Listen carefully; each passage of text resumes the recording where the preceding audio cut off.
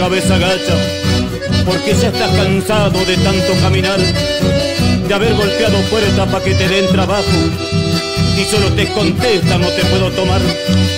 Y piensan las palabras que dijo el encargado, queremos gente joven para poder enseñar. Son máquinas modernas que ha comprado la empresa y usted no tiene estudio, no lo puedo tomar. Entonces nuevamente agarras el camino que lleva para tu casa, pero cuando llegas, los chicos te preguntan y duelen las palabras.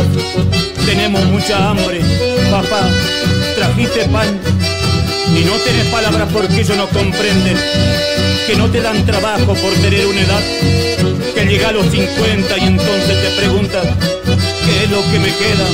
Yo no quiero robar. Y ahí tu compañera con lágrimas en los ojos, quizás con mucha pena te empieza a reprochar. Ya van para tres meses que no tenés trabajo, salís todos los días y cuando regresas decís no traigo nada y los chicos se duermen porque ellos no comprenden y lloran por el pan. Por eso, hermano obrero, sin comprender el mensaje que quise estos versos sin querer lastimar aquel que tiene plata o al dueño de la empresa, la culpa del que manda y no quiere cambiar.